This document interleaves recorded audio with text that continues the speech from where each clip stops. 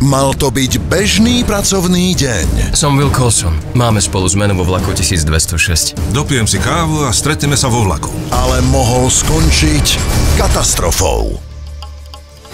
Takže vlak bez trojvodcu sa rúti do premávky a nemá brzdy. Neovládateľný vlak so smrteľne nebezpečným nákladom Čo viete o rozstavenom fenole? Je to nebezpečná látka, vysoko horľavá. sa rúti priamo na mesto plné ľudí.